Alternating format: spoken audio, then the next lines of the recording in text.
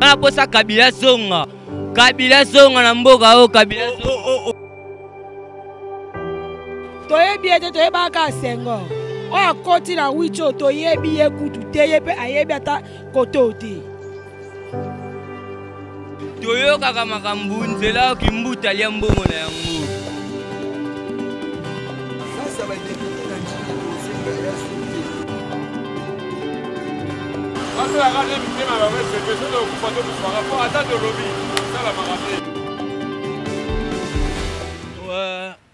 bapapa bamama mbote mbote mbote mbote na bino nyonso bozwi libaku ya kolanda chaîne na bino bolingaka mingi 365 jours info tv lelo toza bongo na route euh, sekomaf oyo tokolakisa bino nzela oyo ndenge eza ya kobeba mabe tokozwa moko moko moko oyo basalelaka nzela oyo bango nde bakoyebisa bino nzela ndenge ebebi Mingi mingi soki tokutani na bato ya moto, tokutani na baleki nzela, tokozwa moko moko tolakisa bino nzela oyo ebebi. Bolanda mingi chaîne oyo bolingaka mingi 365 jours na émission na bino SD lobela biso. E chaîne oyo eye kolobela bino na makambo ebele. Toza na makambo ebele tolakisa bino. Tokolakisa bino politique, tokolakisa bino ba nyonso domaine nyonso oyo difficulté ya nzela, ya problème nyonso oyo kokomela bato, social nyonso tokolakisa bino na nzela oyo bana mboka oyo baetilizaka nzela oyo na baoyo bavandi na nzela oyo to oyo baetilizaka nzela oyo to oyo basalelaka nzela oyo tokozwa moko moko moko toyeba to bango baloba soki toza wapi soki bakonzi ya mboka balingi nini ata biso moko tozalaka bato mbongo ebima ebele mpo na kobongisa banzela bofutisa bavignette boyoba nini somba boye bata bato bazosala bashofer bazosala Mais nzela eza impraticable. Moto moko kutu awa tomikomi dai na retard moto yango kutu ekufili wana donc ekwei wana tomiye na retard mwa tozwa kamera boye ezalaki te toyebi te tosenga na gouverneur ya ville toyebi te nzela oyo eza ya provincial to ya national baoyo baza sense ya kobongisa nzela oyo antuka tosunga bandeko oyo bavandi na kote oyo antuka bazonyokama makasi balobi nzela oyo na kala eyaki kolongwa Quartier 1 ti na seko mafia wana alaka 200 francs na transport. Mais lelo ekomi 1000 francs. Pourquoi ekomi 1000 francs? Po tozo sunga ba ndeko te nzela ebebi makasi nde bato ya moto bango pe ba créer cop na bango po ba bakisa monta likolo to bato ya mituka pe ba bakisi mbongo likolo na oyo bandofuta kala po bokipa bango te botika bango kaka boye En tout cas, eza pasi, eza vraiment pasi mingi. To to sunga bandeko. Tango ba ofuta ba ba vignettes na bango, ba ofuta ba bilo na bango mosusu yo senga mpo na ville. Bino mpe na part na bino en tant que ba responsable eh, to ba konzi ya ville, boya mpe bosunga bandeko. Hein? Obandi ba nzela to moi ba nzela elengesa, to moi ba nzela ya ya échangeur, to moi ba nzela ya ya mombele ozo sala. C'est bien. c'est bien bravo tobeteli yo maboko tolekisa ye mpe nzela elengesa tobomona ye ndenge baosala mosala bravo mpo ye mpe na nzela oyo eza kobeba bandeko ya koto bazolela bazonyokwama banyokwama vraiment nzela oyo babi na eh, toza na quartier 8 nzela oyo eyaki olongwe awa eke ti na sekomafe mabanga kokuna bacarrière eza kuna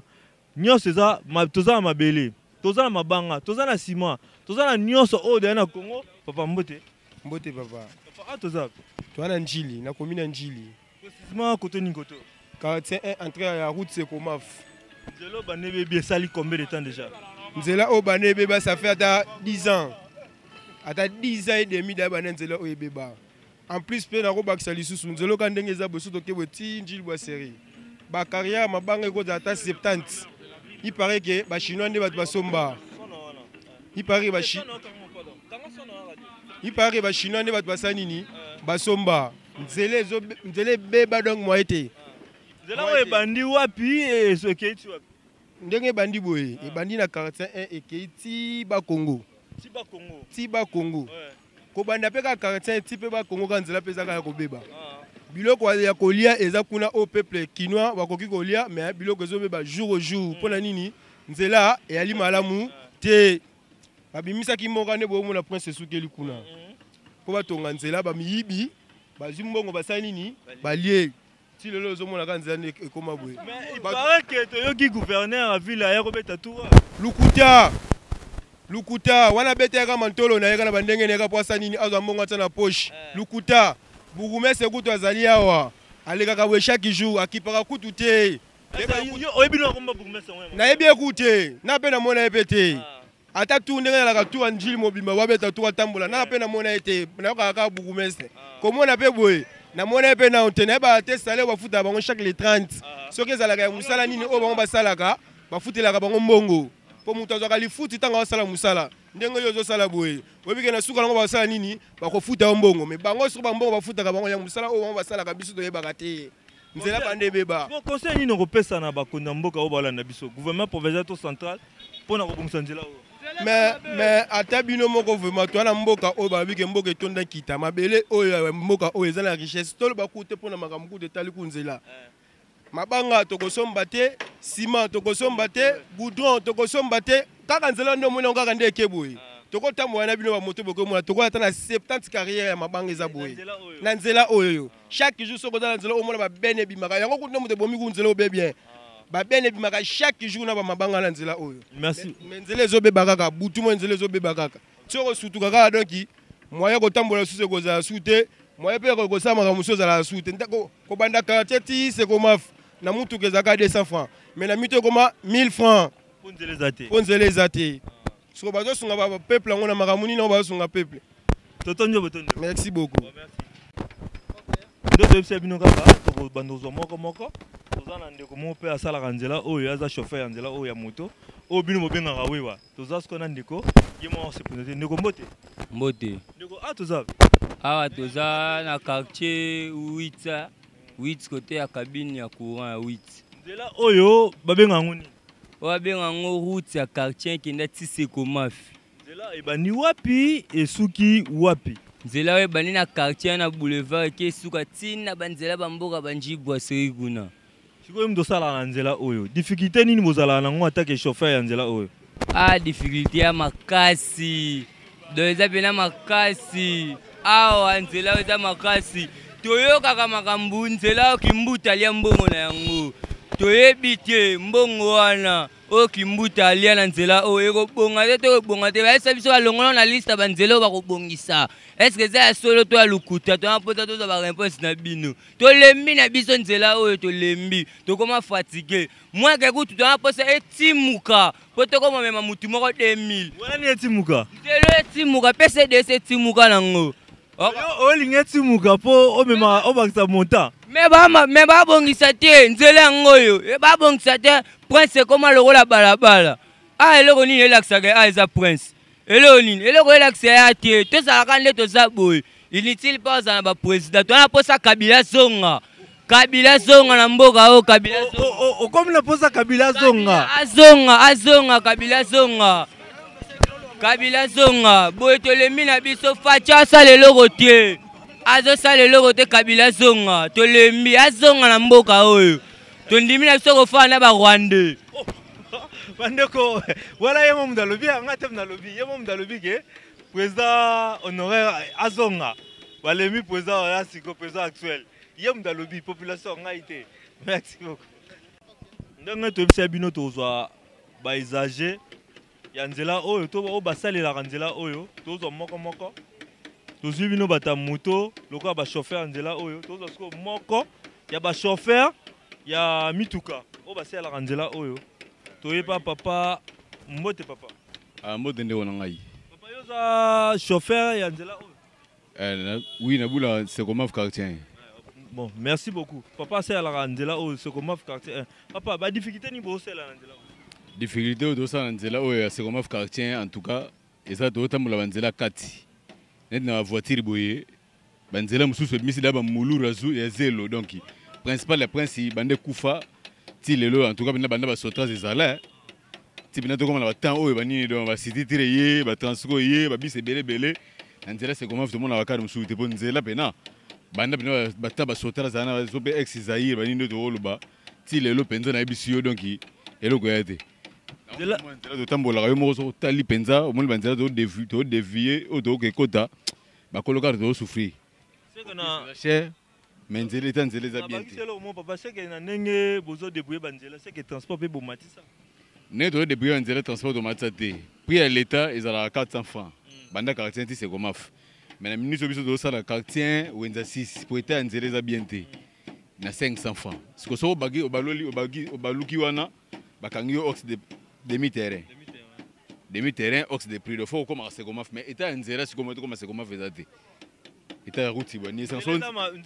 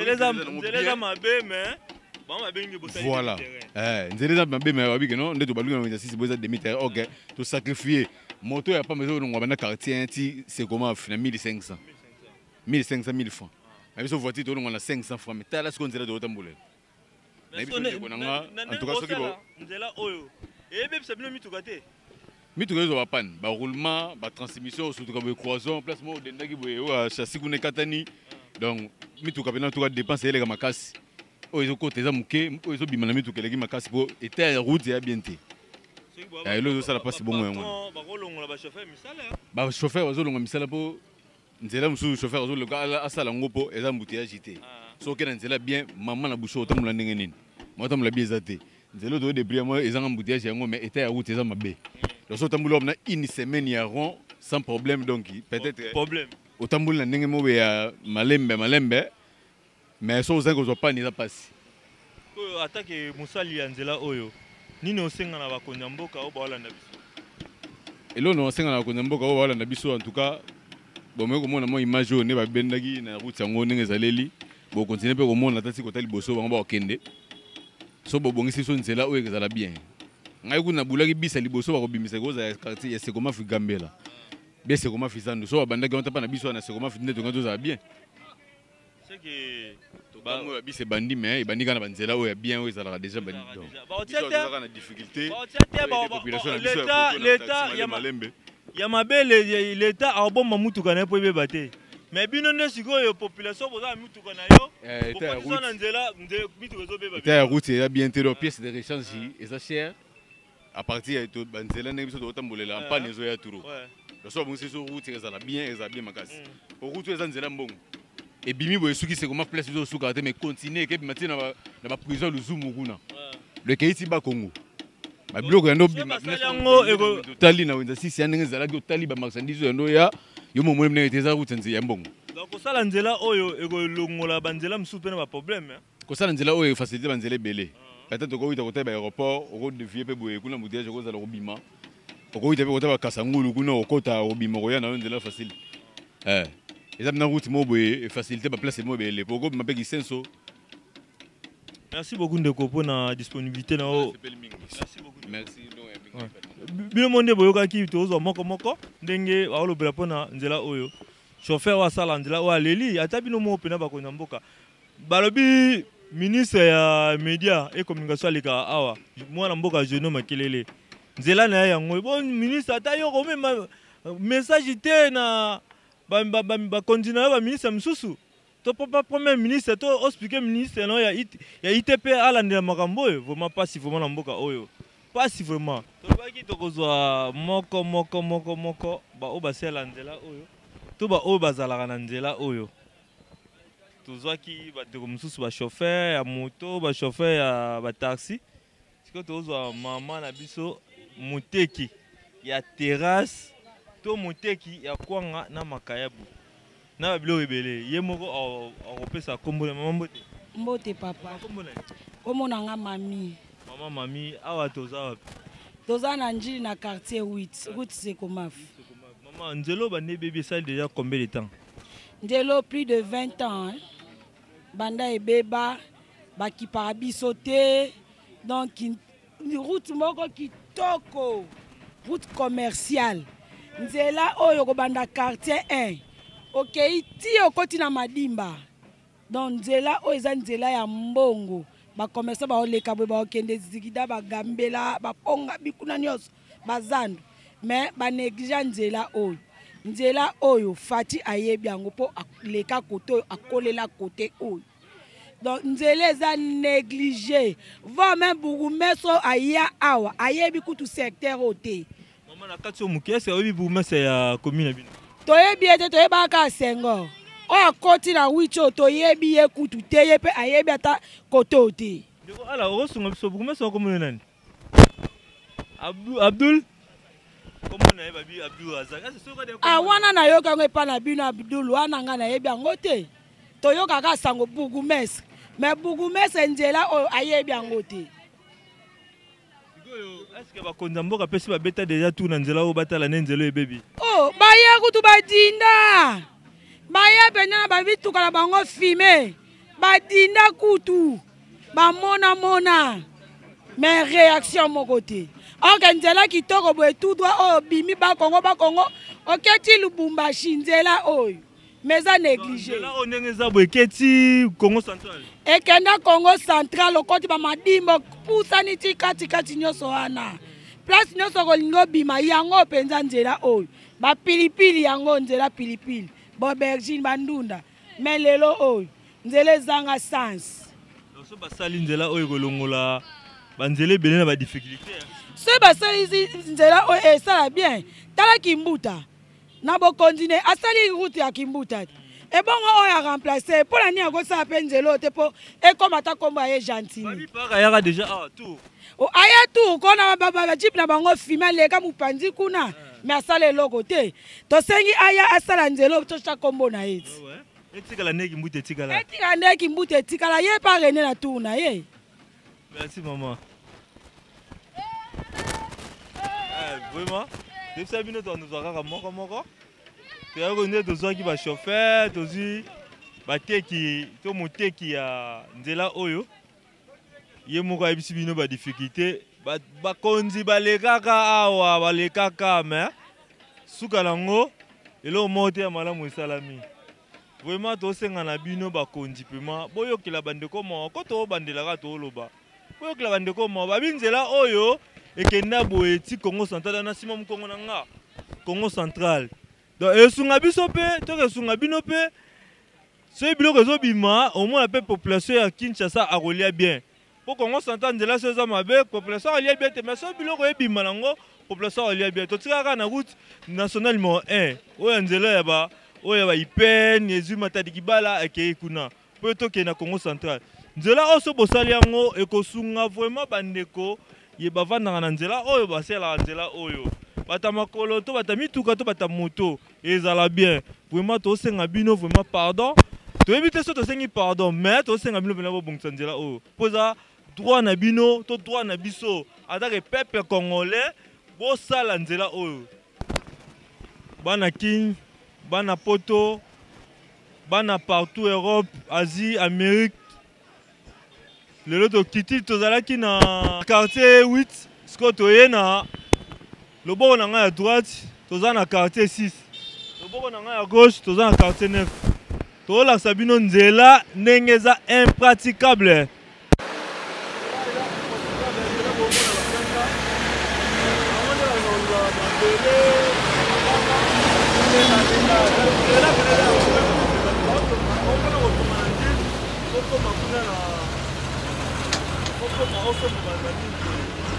nzela eza mabe makasi bandeko oyo baolanda biso bana ntilo kokenda poto kala ntili oyo boyebaka kala yango oyo ntilo kokendaka oyo botikaka yango oyo ntili ekomi mabe ya makasi dil ekomi mabulu mabulu dil ekomi mai mai oyo botikaka kala eza dil yango te dil ya lelo dil echange tozalaki kuna na quartier 8 omoni ndenge nzela eza mabe topusani sikoyo liboso awa na quartier 6 na quartier 9 nzela eza mpenza mabe makasi impraticable mpo na komata na to mpo na kokende nzela boye bata makolo fo mata kaka na basaki oleki na basaki oleki likolo likolo po oleka boye eza te mpo mai eza wana awa ah, koleka te na kati ya mai kozala na moto moto yango mpe soki ozokende yebela kaka mpo kana ngi mengai menga donc okoti na kati ya mai ndenge ya boye oyo batie basaki na bango so bamoni okoleka babatetake yo tobala nji oyo kini oyo boyebaka to njili oyo boyebaka eza susu njili wana te njili ebeli makasi nayebi te bino mo banota bya njili soki booloba nini mpo na njili na bino mingimingi na bango baza na kini awa banota bya njili antuka bosalaka ekesio sosenike bosala ata baletre bamona hotel de ville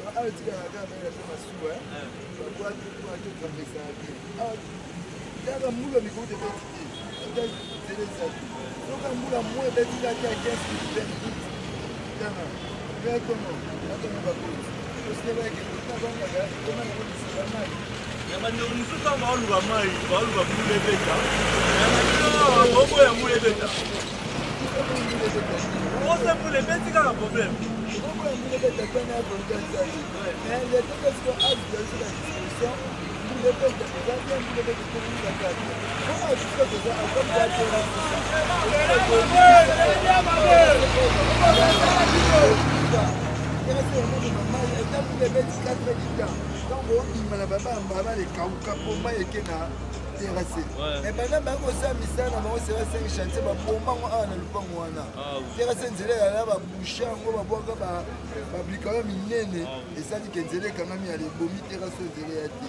eske ti oyoka mpe deja to omona deja mokonzi moko ya mboka oyo to ya ville ya kinshasa mpe aya kita mpe deya na nzela oyo nayokaki na sango soit disant gouverneur ya leta wana bato baleka awa eh. bon namona bango te nayoka na sango malgre nayoka namona mpe eloko te tinde toyobibeka bodongo bayaka te papa na ndenge oyoka wana promese nini apesaka bino soit disant baoya kosala lelo oyo ezalaki ah. obstacle mpo na mai elekaka bakofungola yango mpo mai ezonga population ebika ke bato moko abika liboso bato ebele non bakosala de façon ke population ezala na kani me baya bakenda ti lelo oh, ekenda aziza oyo oh, so balobi ka basepesi bino bake bake bibela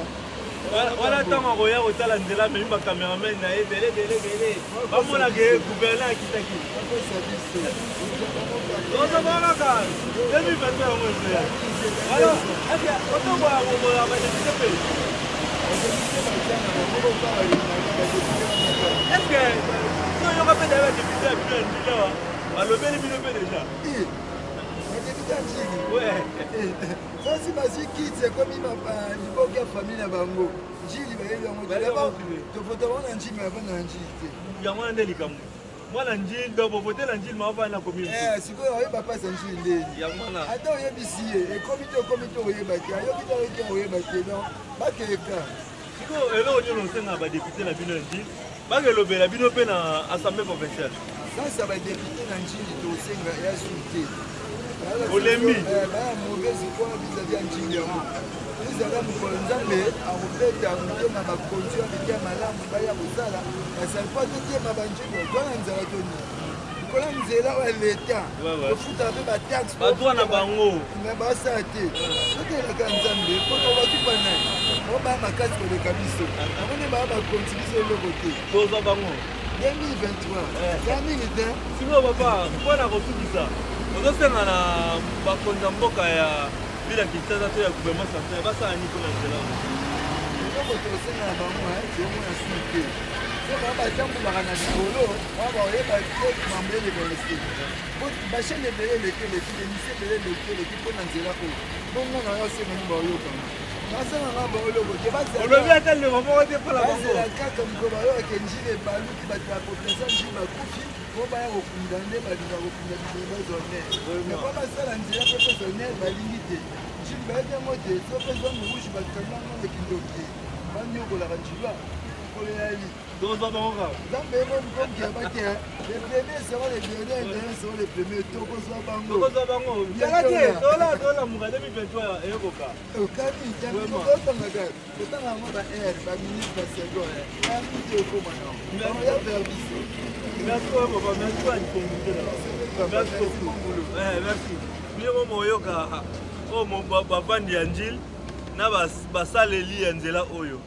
oyo to toza muvandi ya ndi avandaka na veni oyo eza awa na quartier 6 vraiment ma quartier 7 ah, quartier 6 ya ba mwa bo ya mwa mwa bobungi muke ya nzela taka na vandi na photo te mais beaucoup merci beaucoup na oyo bino nyonso bozwaki bakokolanda biso mpo na kosukisa napesi mbote na oncle pitien leroy papa na pg na gelo la racine junior la confiance merci beaucoup merci na baoyo nyonso bozwi libako kolanda biso na émission na bino sd lobela biso to sardu dimbu lobela biso merci merci na babino nyonso bozwaki baku ya pardon merci na bino nyonso bozwaki temps to ya ko s'abonner na chaîne bino na walo bakaka bo s'abonner massivement massivement na bit massivement massivement bo s'abonner massivement na chaîne bino bolinga mingi 365 jours info tv toza wana en tout cas bozala décider bomona na biloko bien bozala décider na ba biloko nyonso boza yango posa bomona wana chaîne oyo toza na mambo ya sika te tumia toyena mambo ya bien bamambo ya bien yango bino mobolanda yango bokomona koloba mingi mbanga mpasi natiki Eh, napesi mbote na baoyo nyonso bolandaka bolingi biso baoyo nyonso bolandaka biso na mosika na baoyo nayebi na oyo nayebi te napesi mbote a ma femme le jour le jamais merci beaucoup na mama na mama jacki kinambudi merci beaucoup na, na nsima wana ya kamera namoni alabamba nabenga ye mingi dg ya dg pesi mbote na bosi na ngai merva ekwini esika azali na mosika mbote ya yo yango oyo oza basoda na makasi kobanga te tobunda mpo eloko mpena mpo tomemamo likolo 365 jour info tv oyo bolandaka émission oyo bolinga mingi sd lobela biso émission oyo bozala desi te tokita na terrain tolakisa bino badifficulté ya bato oyo nde baovivre partout na eloko nyonso yo mpo oza na basuggestion oza na bacritique baremarke kodute te benga biso numero eza na se wana numero ya bos na numero ya